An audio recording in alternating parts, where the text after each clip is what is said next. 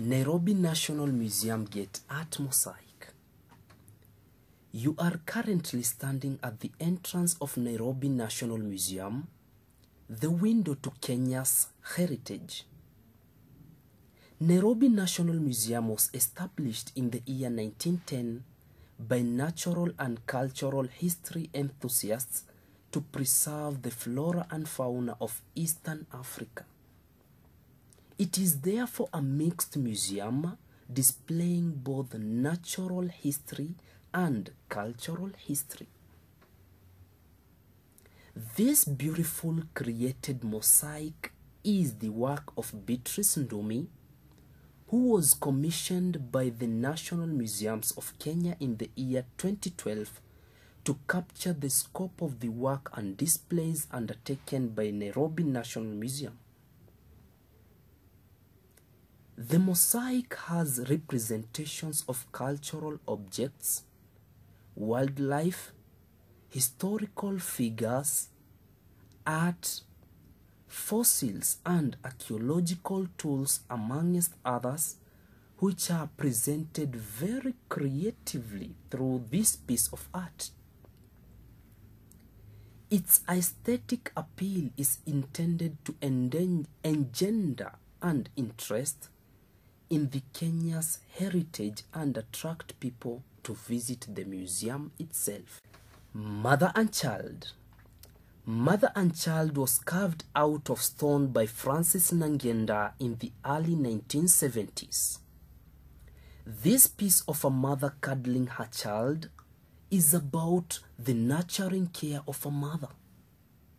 Considering that it was done a few years after independence, it symbolically represents the efforts to be put in developing a newly independent country to achieve growth and development.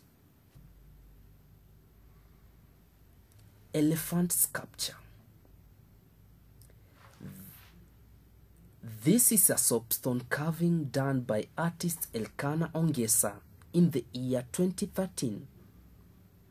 There is a rich tradition of soapstone carving among the Abagusi community of Nyanza.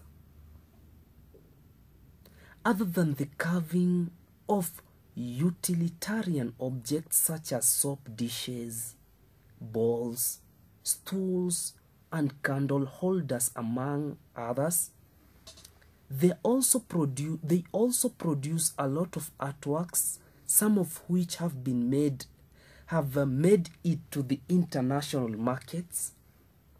And then one of the pioneer kisi soapstone covers is Elkana Ongesa, who was commissioned by the Kenya government to carve this piece in the year 2013 for the Smithsonian Folklife Festivals in Washington, D.C., where Kenya was showcasing her heritage at the National Mall. Though it did not eventually travel to Washington, it conveys a powerful message of conserving wildlife, especially the elephant, which has in the recent past been a subject of massive poaching for ivory.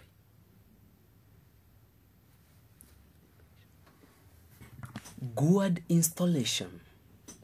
This centerpiece is in the Hall of Kenya and contains a tall assemblage of gourds in different sizes, shapes, and decorations collected from various parts of the country. The gourd or calabash, for that matter, is one of the most ubiquitous objects of material culture in Kenya. It, its shapes and sizes are varied as their functions. They are, for instance, used as containers for water, milk, porridge, beer, and even for storing grains.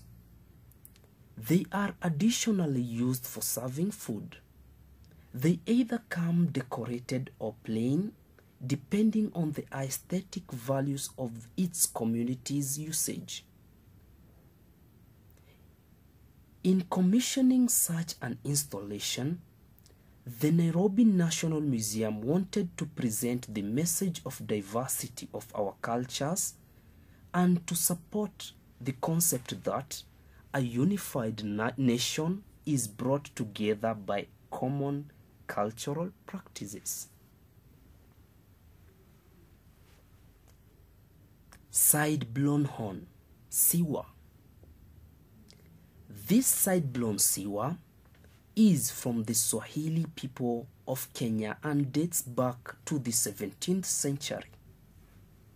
It's made of ivory.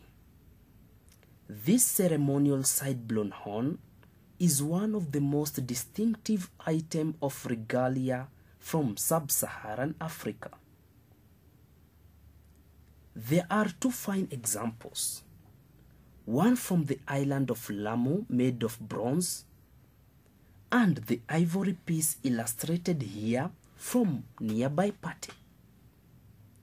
The latter, made in the year 1688, is almost 2 meters long and has two articulated joints.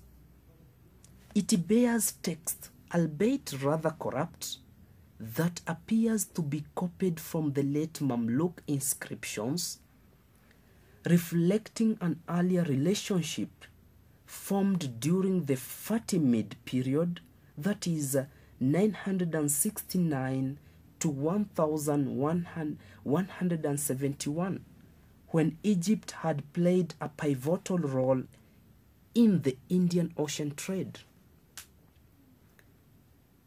The siwas of Lamu and Pate are no longer used and are both housed in the museum collections in Kenya.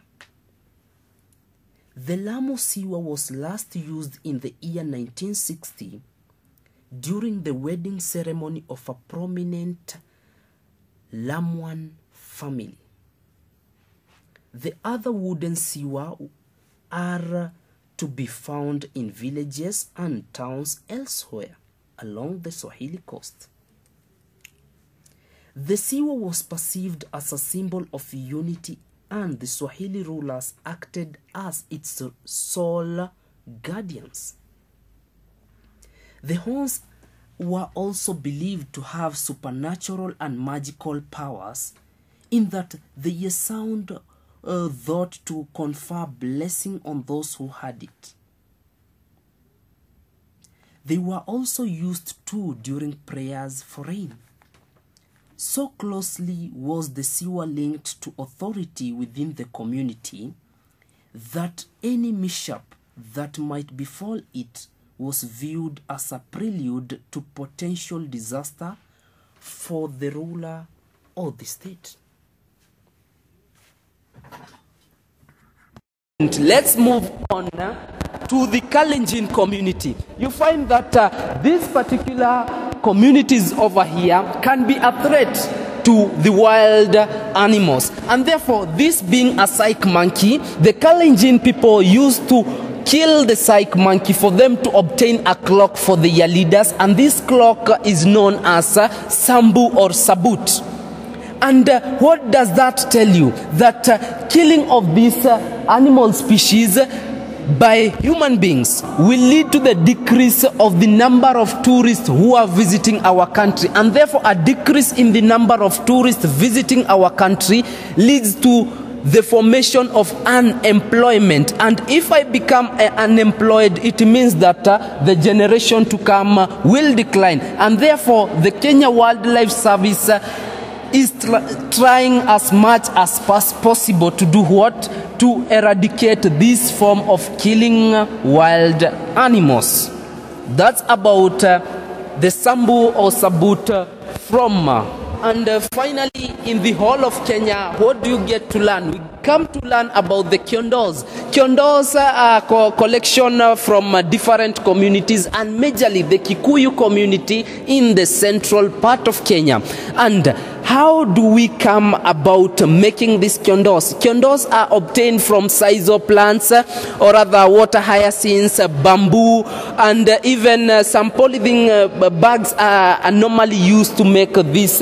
Uh, these kiondos. And if you can be able to have a keen look at it, you can be able to see it is somehow sophisticated inside because it has got a layer which is most helpful for making food to become warm. That's all about the whole of Kenya. I do believe you've learned of different communities here in Kenya. Ingolole circumcision mask. This mask is made of fiber and skin and was used by the Tiriki people of Western Kenya.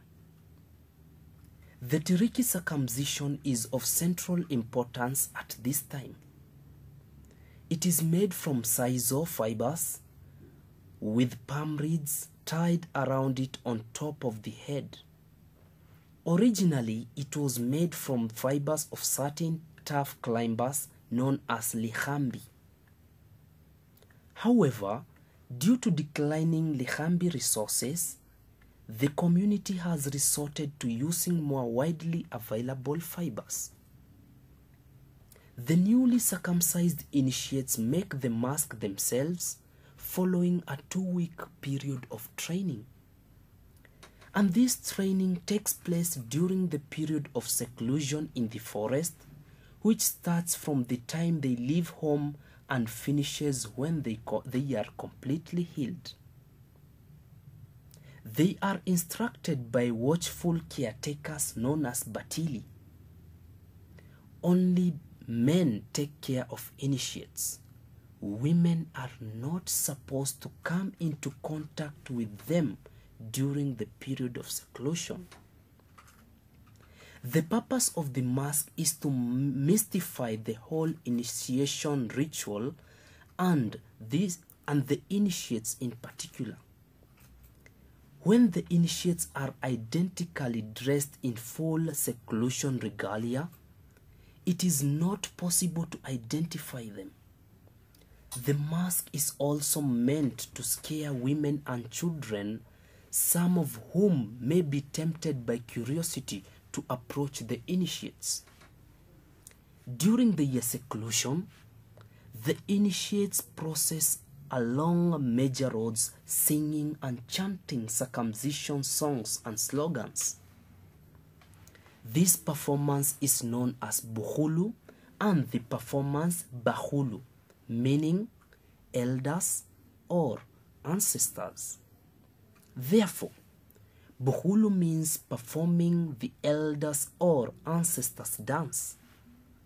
Participation in the dancing indicates that the initiates are engaging in past traditions. They are aping their ancestors, thereby becoming elders and prospective ancestors. Kanga, printed cloth. This cloth is made of cotton and was used by the Swahili people. It was acquired by the museum in the year 2002. Rectangular printed cloths sold in pairs, kangas, are widely used in East Africa where they are predominantly worn by women outside of the home and by both men and women indoors. The name derives from Kiswahili word for guinea fowl, a bird whose spotted plumage must have resembled the patterning of the first kanga. These clothes play a very special role in people's lives, both functional and symbolic, from birth through courtship and marriage to old age and finally to death. Early kangas were hand stamped using carved blocks of wood and other materials and continued to be produced in this way in various locations on the Indian Ocean coast, and this included Zanzibar and Lamu Island. Within a few years of the first kanga being made, printed versions were being imported from Europe, then India, China, and Japan. The two traditions ran concurrently, at least until in the year 1970s when the practice of hand stamp- stamping ceased on Zanzibar. A newborn baby may be wrapped in an uncut and unstitched pair of kanga to confer prosperity, strength, and beauty to the child as a symbol of parents' love. At the funerals of women, kangas are used to convey to cover the body while it is being washed, after which the kangas may be sent to the mosque where they are they are used by female worshippers continues to bless and honor the deceased. In daily life, the combination of inscriptions and images on the kanga provides a means of suggesting thoughts and feelings which cannot be said out loud, particularly in the context of social and sexual relationships, disputes, and rivalry. So, this is a musical instrument from the Luo community and it is known as Abu.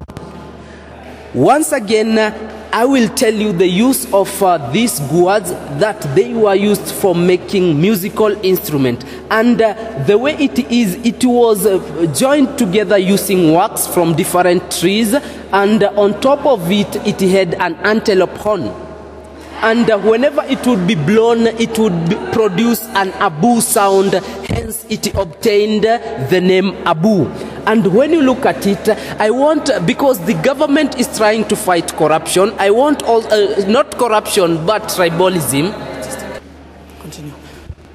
Okay as I was saying, that the government is trying to fight tribalism. I also want to fight tribalism by trying to blow this particular uh, musical instrument, assuming a maluo. There we go. You see, the sound is being projected in reference to the size of uh, the gourd. The smaller the gourd, the smaller the sound, and the bigger the gourd, the bigger the sound. Hence, the U brings about the name Abu. That's about the Luo community. Dowry gourd kitete. This gourd is from the Kamba people and is made of glass, aluminium, cowrie shells, and leather. The renowned skill of Kamba craftsmen are most apparent in the production of utilitarian objects such as domestic gourd known as kitete. Kamba gourds vary in size, shape, and function. Such gourds serve as beer containers or as cups for dipping into beer vats during ceremonies. Half gourds are frequently used to serve food to members of the household or visiting guests. While some gourds are smooth and cylindrical in shape, others are rounded and decorated with various surface designs. This may be inscriptions, representation of animals or plants, or simple geometric patterns. The inscriptions are drawn by specialists during using thin nail like pieces of metal heated to red hot temperature. Other gourds are carved using sharp tiny chisels that remove small chips from the surface of the gourd without causing damage to the surrounding area. Elaborate gourds such as this one was made by an older woman for a girl at marriage and form part of her dowry. The young bride will take this gourd with her to her new home and will use it for the first time to feed her husband. Thereafter, it is hung up in the house as an ornamental and used for special occasions. However, a young married woman may take it to the market filled with watery porridge to show it off to her friends and neighbors. These dowry gourds are decorated with multicolored beads sewn together in bold, visually appealing patterns. They often have a fringe of aluminium chain and decorated lids. The long leather handles are embellished with cowrie shells.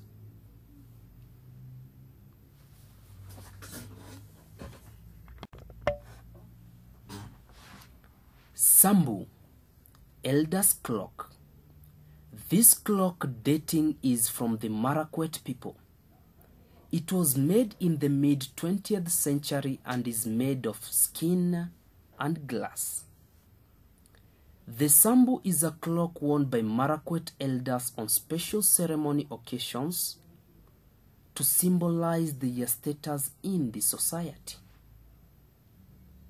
Although the Marakwet did not have traditional rulers, certain individuals gained and elevated status based on their wisdom and eloquence. They are referred to as Kiruok.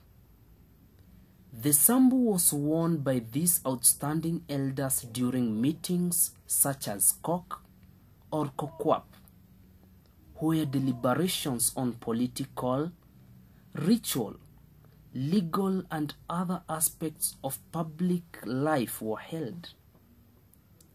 Kiruok were regarded as professional attorneys and were often sought by disputants to plead their cases simply because they were known to be non partisan but able to guide the Kok into arriving at a just verdict.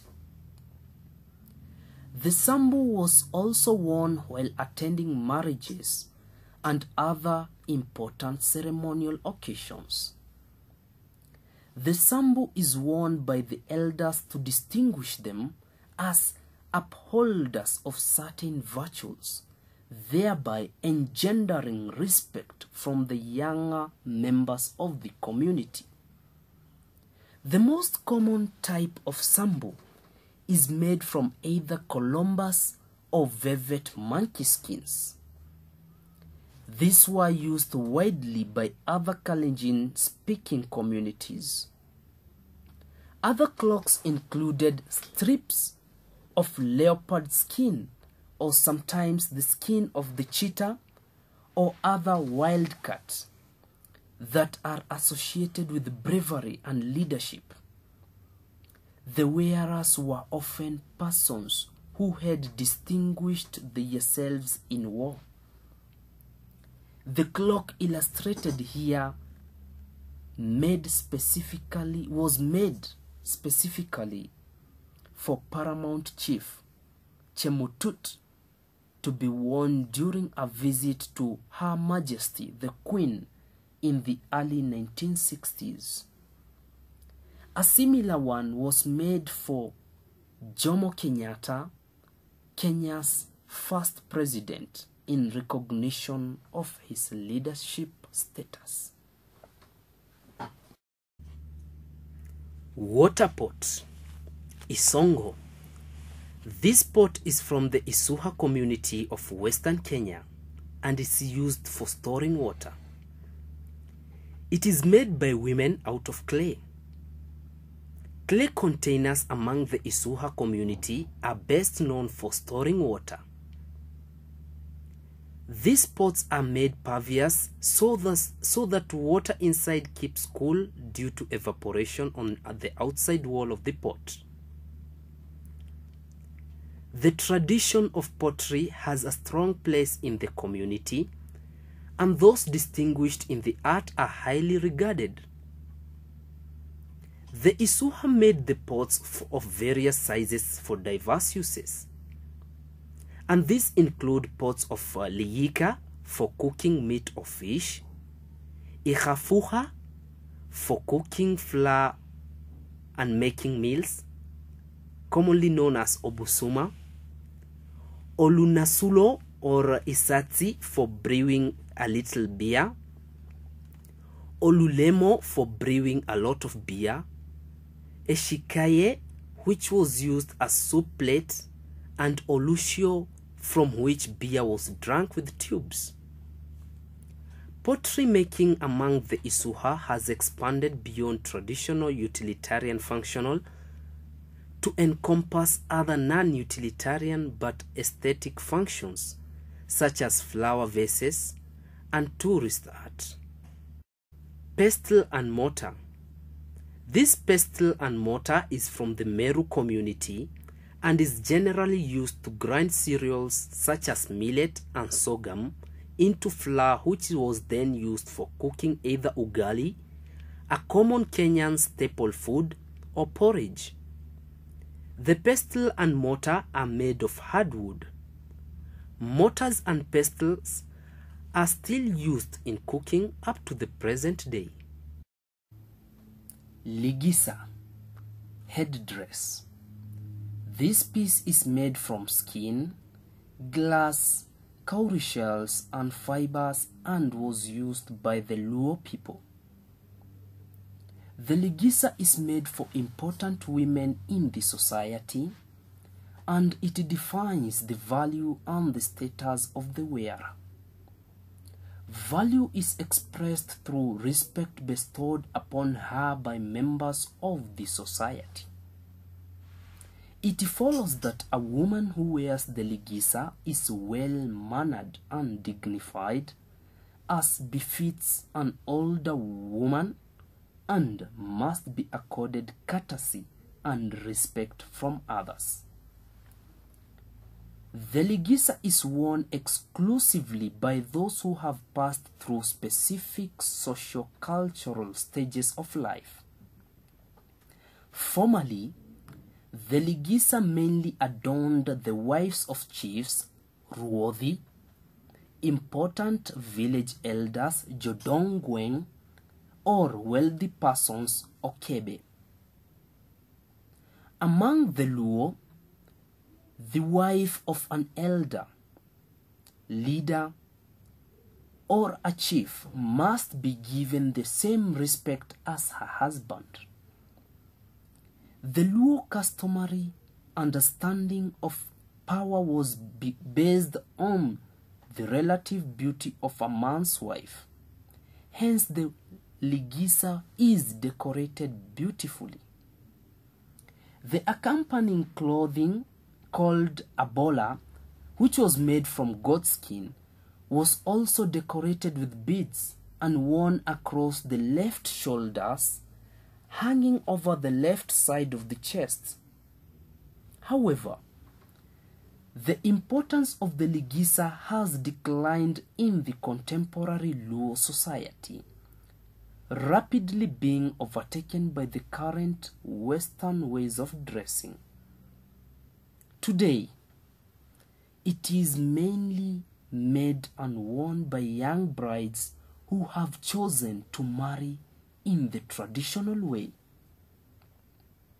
Because the ligisa represents certain low values, it is made to order exclusively by specialist artisans, highly trained people who have followed a proper apprenticeship.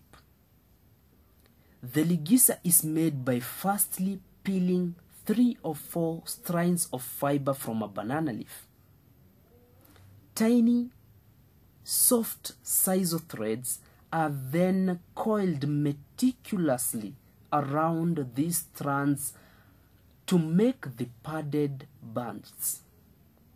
These bands are in turn stitched together side by side using tiny threads to form different patterns.